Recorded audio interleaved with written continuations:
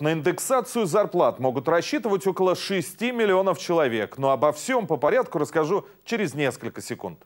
Спонсор рубрики «Финансовая группа Сберегательный союз». Телефон 8 800 5000 977.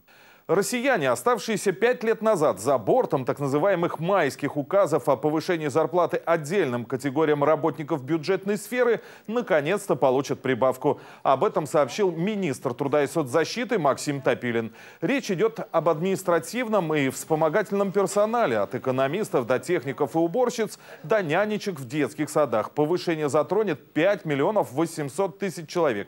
Прибавка составит 4%. Основные средства на индексацию будут направлены из региональных бюджетов прилавков магазинов могут исчезнуть дешевые лампочки на 60 и 75 ватт. Лампы накаливания мощнее 50 ватт могут запретить в России. С таким предложением выступила Минэнерго. В ведомстве отметили, что закон предусматривает возможность таких ограничений. Так, с 1 января 2011 года в стране действует запрет на продажу 100 ватток, сообщает ТАСС. Правда, в министерстве считают, что одновременно с отказом от лампочек накаливания должна быть снижена стоимость энергосберегающих.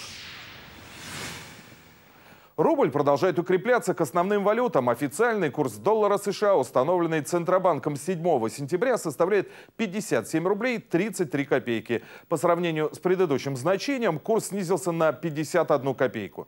Стоимость европейской валюты также снизилась на 36 копеек по сравнению с предыдущим значением. И официальный курс евро, установленный Центральным банком, на завтра составляет 68 рублей 41 копейку.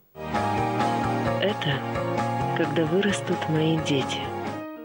Финансовая группа «Сберегательный союз». Сбережения до 17% годовых. 8 800 5977.